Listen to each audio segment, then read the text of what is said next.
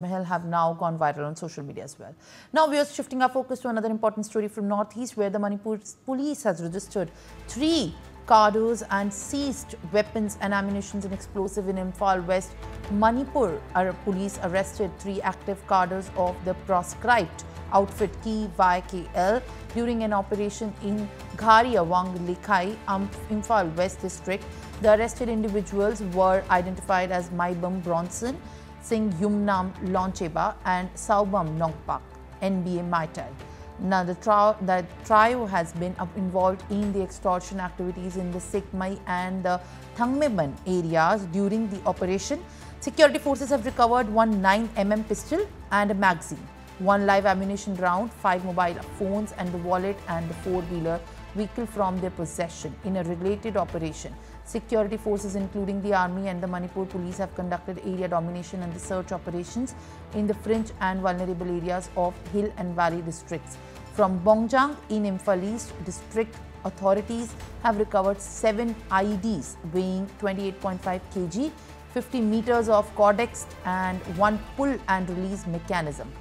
The ongoing operation were a part of the broader effort to curb the militant activities and maintain security in the region.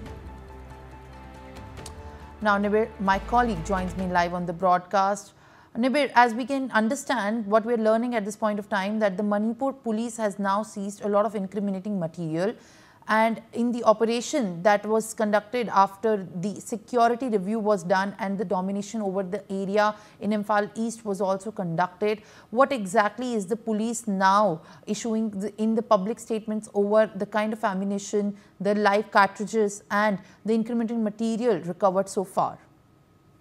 Well, as you know, that the state of Manipur has seen its fair share of violence since last year, and the violence also escalated in September when we saw multiple firing incidents and also bomb explosions in the form of aerial threats. And as such, the Manipur police have increased increased their vigil across the state and have all time and again confiscated weapons as well as uh, uh, arresting uh, suspected militants in this regard. So uh, in these kind of operations, we saw again the Manipur police uh, did a combing operation wherein they confiscated arms and ammunitions and also uh, they uh, arrest, uh, did the Naka checking across the vulnerable areas of uh, the state wherein they uh, they confiscated any sort of uh, arms and ammunition that might be carried in these vehicles, fueling the conflict that we have seen in uh, Manipur. And uh, security forces, including the army as well as the Manipur police, have been doing these joint operations.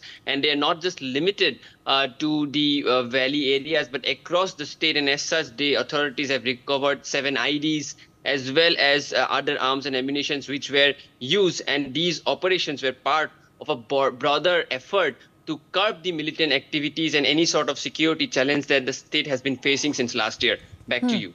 All right, Nibir. Thank you for sharing all these details and updates that you're tracking currently from Manipur. Now, viewers, that was all the news of the nation and the world. We'll continue to track all the developments very closely. Till then, stay with us.